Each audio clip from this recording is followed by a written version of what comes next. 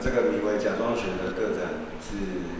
呃我在一三年的表面法表面工程法的个展之后的再一次个展。那基本上呃我创作的这个技术跟呃方向跟表面工程法可以说是某种延续这样。那呃，当然有一些雷同的地方，也有一些不同的地方。那这一次的作品呢，基本上就是我想要让作品某种程度的消失在空间里面。那消失的方法有很多。这个消失基本上，因为他们是假的，那我想要让他们能够有消失的感觉。那而消失的方法很多，是包括就是你就是伪装成真的东西，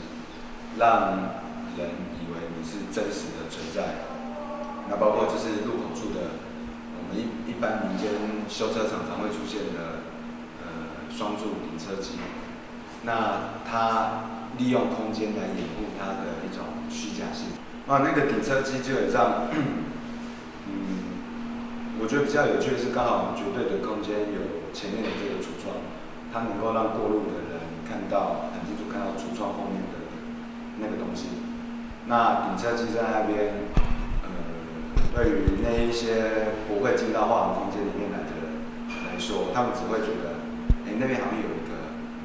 顶车机，那种电线杆啊，工厂他们会做一个变压动作的变压器，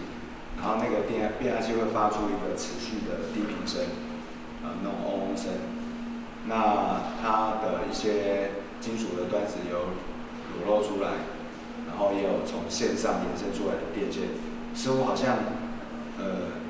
呃，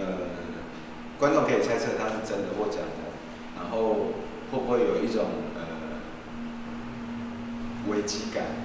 的产生，是我觉得还蛮有趣的。这个低频的嗡声基本上是我自己我自己的嗡出来的。每个人在对应，像好比说狗来讲的话，有养狗的人看到那个作品的感觉，跟没有养狗的看到可能就不一样。那他在门边的狗狗看起来像狗狗，然后呃，他会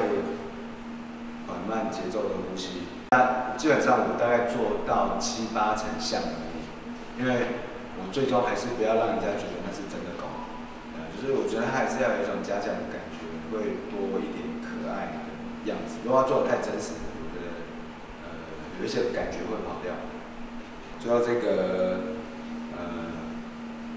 这边 做了一个那个货车厢的后门，然后它其实只有一片的，那我们透过一个摆放的角度的安排，就是制造出一种在画廊前端看到会以为。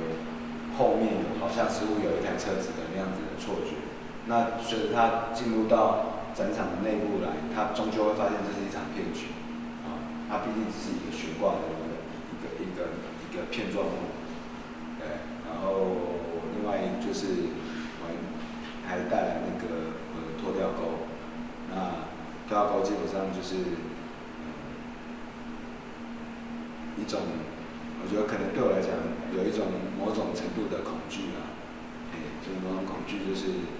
开车都会怕那个东西出现在你面前这样。作品呃总共有五件，那我自己来讲的话，就是我喜欢作品呈现出一种呃自由行政或者是说各自发想的那个想象的空间这样。我喜欢东西自己独立的存在，然后它就是一个具一个。一个具象物，然后他有他自己的说故事的方式，然后每个人看，每一个人，因为毕竟我做的东西都是生活里面的东西。